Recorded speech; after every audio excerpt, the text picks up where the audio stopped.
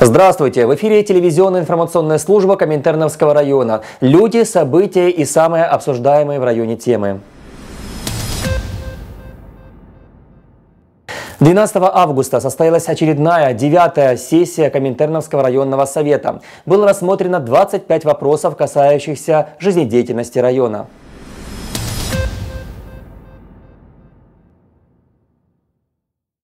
У центрального входа здания районной администрации депутатов встречали бравые молодцы в камуфляжных костюмах, нервно щелкающие семечки в большой мусорный бак, на котором была полустертая надпись «Люстратор». Несмотря на умело выстроенную мизансцену, девятая сессия Коминтерновского районного совета началась вовремя, без каких-либо эксцессов. На ней присутствовали 28 депутатов, руководители района и депутат областного совета Олег Кутатыладзе. Председательствующий Геннадий Тефтл рассказал депутатам о нововведении электронной системе голосования при помощи пультов дистанционного управления.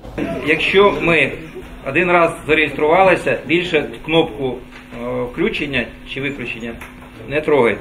То ли депутаты не разобрались, где эта кнопка, то ли система требовала доработки. Но после третьего сбоя решили голосовать по старинке, поднятыми руками, и перешли к рассмотрению повестки дня.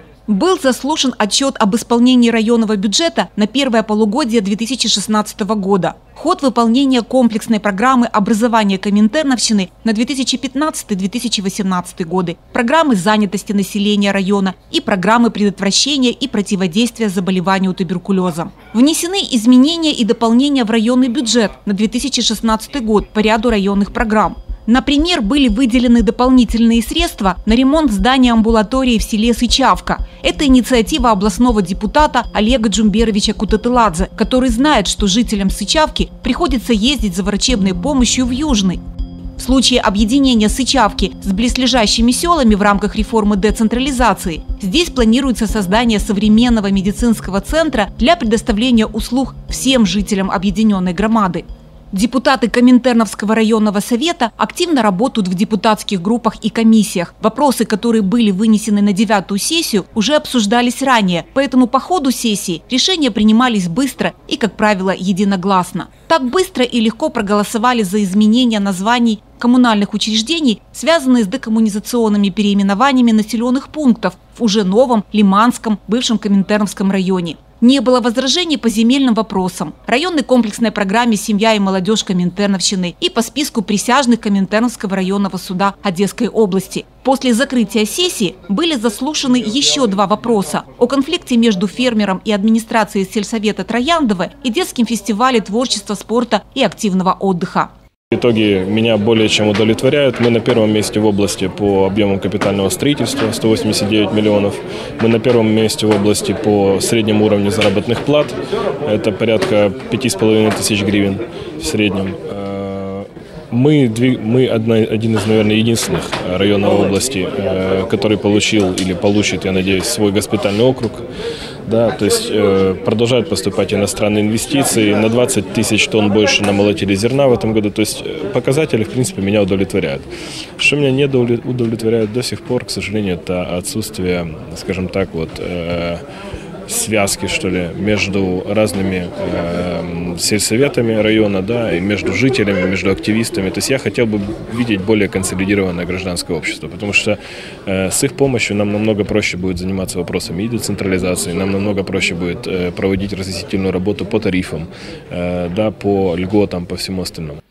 Сессия прошла быстро, но продуктивно. По ее окончанию куда-то делись люди в камуфляжной одежде вместе с мусорным люстратором. Видимо, претензий к присутствующим в сессионной зале у гостей не возникло.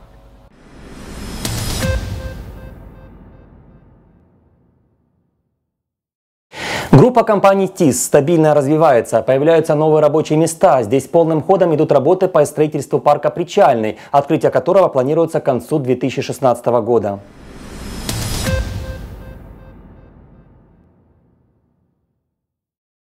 Группа компаний ТИС – одно из бюджетообразующих предприятий Коминтерновского района. Являясь крупнейшим налогоплательщиком, ТИС также является одним из главных работодателей на этой территории. Более 4 тысяч жителей района работают на предприятиях группы компаний ТИС. Здесь имеют стабильную работу и регулярную зарплату жители небольших деревень и поселков, где других источников дохода зачастую просто нет. Поэтому для многих семей в Коминтерновском районе экономический рост родного предприятия вселяет уверенность в завтрашнем дне, которой так не хватает сегодня многим украинцам.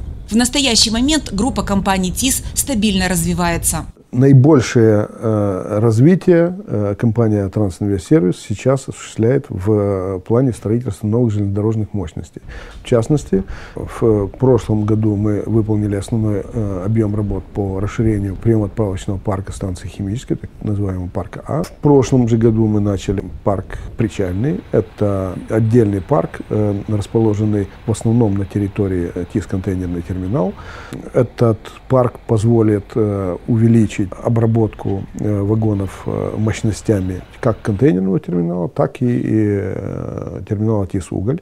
Здесь за моей спиной вы видите, мы строим так называемый парк причальный, что позволит нам создать настоящий транспортный узел, куда может приходить и обрабатываться большее количество вагонов, чем мы обрабатываем сейчас. Сейчас мы обрабатываем около 1200 вагонов в сутки. Это тоже очень немалый показатель, серьезный показатель. На данном этапе уже построено вот то, что мы видим, порядка 6 километров железнодорожных путей. При полном завершении строительства парка Причальный будет порядка еще и всего построено порядка 15-16 километров железнодорожного полотна. Обычный подъездной путь. Он позволяет железнодорожному вагону прибыть к месту разгрузки. Таким владеют многие причалы и порты. Сегодня, благодаря инвестициям в собственное предприятие, ТИС построил полноценную железнодорожную станцию с разветвленной сетью подъездных путей, что позволит значительно увеличить грузопоток и создать сотни новых рабочих мест. Это стабильная работа, э, это стабильные инвестиции, которые уходят не за границу, а остаются здесь. И, конечно, рядом с таким развивающимся гигантом, которым является группа компаний ТИС, как грибы после дождя растут новые предприятия и компании. Мы сейчас развиваем железнодорожную станцию, мы развиваем, строим сейчас терминалы. Партнер наш, например, строит зерновой терминал здесь. Рядом с нами МВ Карго строит, тоже, которая сотрудничает с нами, э, строит зерновой тоже терминал с компанией Каргил, знаменитая компания американская, крупнейшая частная американская компания. Вот, идет такое развитие. Мы хотим рядом строить индустриальный парк. Уже мы начали предприятия привлекать сюда.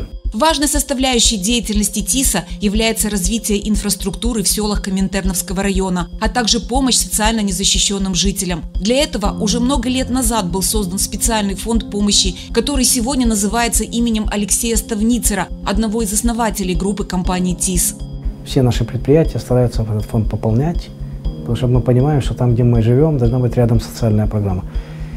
Я уже говорил много раз, что бизнес должен иметь какую-то социальную ответственность, потому что если он ее не имеет, и происходит тогда ну, огромные, огромные дистанции между полями.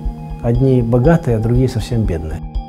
Олег Джумберович уверен, что работа – это не единственное, чем живет человек. У многих есть семьи и связанные с этим заботы. Если у работника налажен быт, дети ходят в хорошую отремонтированную школу или детский сад, а поселок радует качеством дорог, есть газ, свет и вода, то такому человеку и работается легче, и толку от такой работы больше.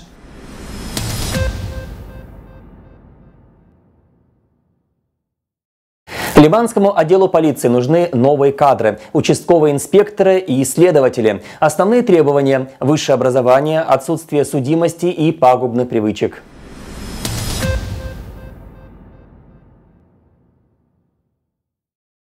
Сегодня стать работником полиции могут мужчины и женщины возрастом от 21 года до 35 лет. В связи с реформой органов правопорядка часть состава не прошла аттестацию. Эти работники полиции были вынуждены подать в отставку. На вакантные места выбирают лучших по результатам тестирования и дальнейшего обучения.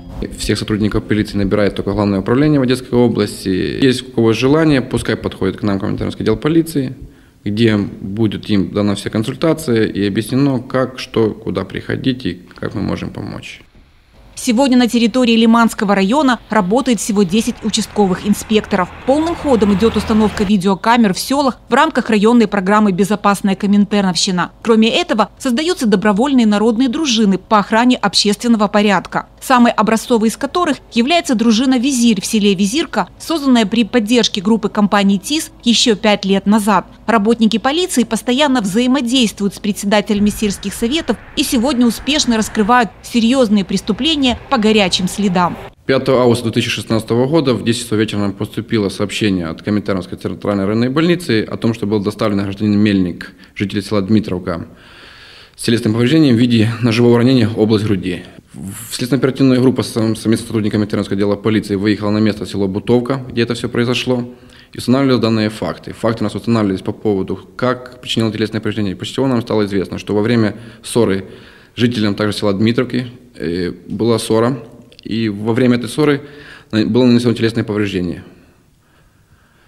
После чего э, э, подозреваемый в преступления скрылся с места происшествия, было мероприятие продействовано, и был он задержан. Доставлен в Коминтерновский отдел полиции, где уже проводили следственные действия, и человек дал предательные показания по совершению преступления. Также установлено, что во время ссоры оба участника конфликта были в состоянии алкогольного опьянения, что и привело к фатальному результату. Потерпевший получил увечья, несовместимые с жизнью. Кроме бытовых конфликтов, сотрудники полиции успешно борются с организованной преступностью. Сотрудниками Кемтеринского отдела полиции совместно с э, Управлением уголовного розыска Одесской области была задержана группа лиц, которая э, совершала на территории Коминтерновского района, а также Одесской области разбойное нападение. Наша служба и опасна, и трудна, поется в известной песне. Работник полиции – это в первую очередь призвание и высокий профессионализм, умение ладить с людьми и уважать каждого, вне зависимости от социального статуса и положения. Именно таких специалистов ждут в Лиманском отделении полиции на вакантные места следователей и участковых инспекторов.